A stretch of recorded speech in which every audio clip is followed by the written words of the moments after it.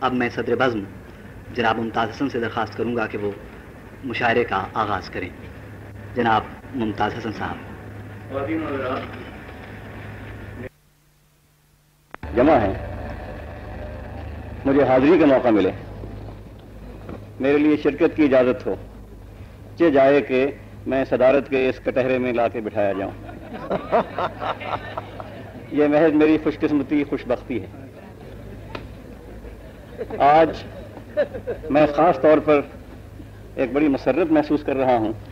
اس لیے اپنے گرد و پیش ان حضرات کو دیکھ رہا ہوں۔ جن کی ہستی، جن کا وجود ہمارے لیے مختنم ہے۔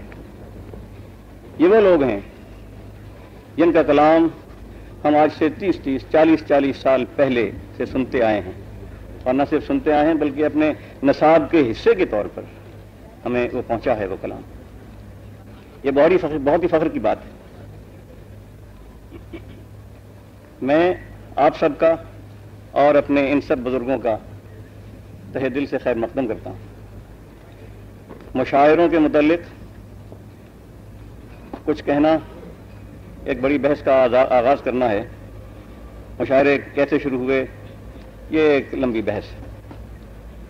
آج اتنا سمجھیے کہ یہ مشاعرے جو آپ کو محبوب ہیں نہ صرف فن کے اظہار اور ارتقاء کا ایک ذریعہ ہیں۔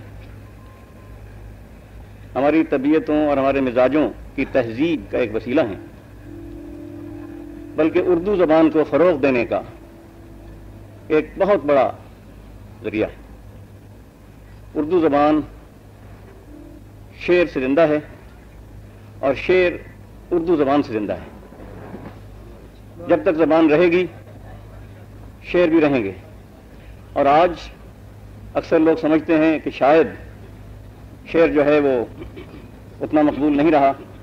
لیکن بقول کسے میرے ایک دوست نے ابھی فرمایا کہ آج تو ہم یہ دیکھتے ہیں کہ ریڈیو ہو ٹیلی ویژن ہو، کوئی اور ادارہ ہو، جب وہ کسی چیز کا اسے اشتہار دینا ہوتا ہے تو کوئی نہ کوئی شعر ان کو ضرور یاد آتا ہے۔